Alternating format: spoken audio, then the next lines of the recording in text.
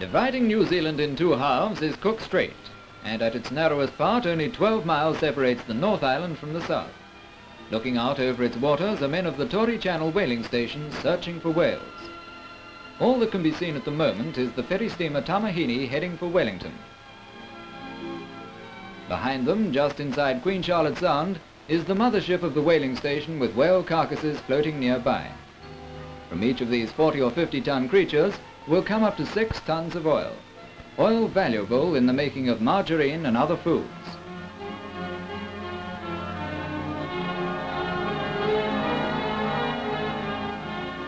All day the men search the strait. New Zealand lies across the path of the whales in their annual migration from the Antarctic. And the only gap in a thousand miles is Cook Strait. Whales are air-breathing mammals, so every 15 minutes or so they have come up to breathe throwing into the air a telltale column of spray. And there she blows!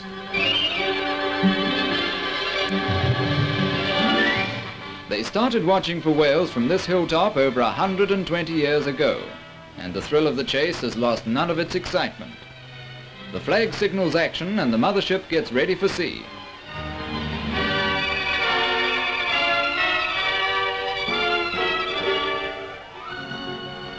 Then the radio telephone comes into operation. The lookout, the mothership and the whale chasers are all linked. In the bay lie three fast whale chasers and there goes the first of the crews.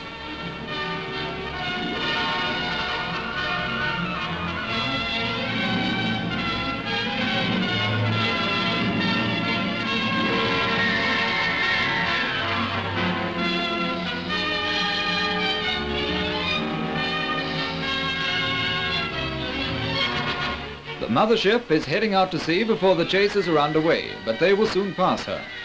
Especially designed for the Cook Strait conditions, these shore-based speedboats are the most efficient whale chasers in the world. The emphasis is on speed, and with a draft of only 30 inches, they skim over the water at 30 knots. Their hulls are light but strong, strong enough to stand the battering of the sea or a blow from a whale's fluke.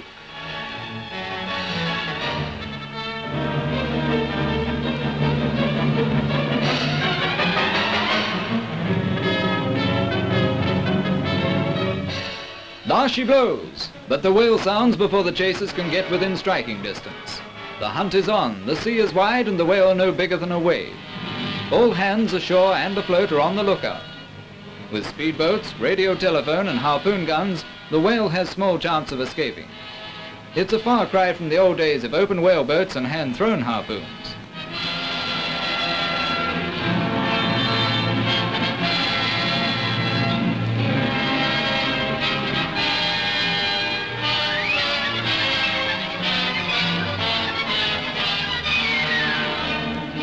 There she is, and the gunner is ready to fire the harpoon with its deadly explosive head.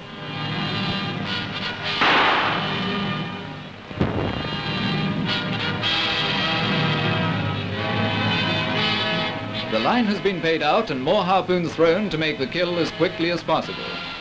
Maneuvering the boat calls for good seamanship. It has to move in close yet avoid being capsized.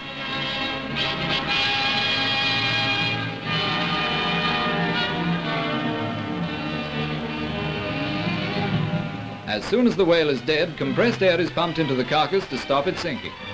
This is one more device to make sure that these men get their whale.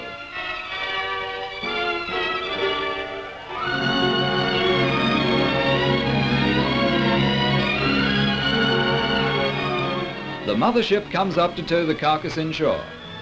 Most of the whales passing through Cook Strait are humpbacks, and during the months of July and August, this station succeeds in catching about a hundred. Many escape during darkness and stormy weather.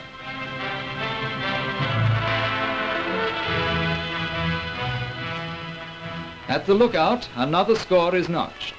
Then, searching the seas again from daylight to dark for the whales, following the invisible paths they've traveled for centuries.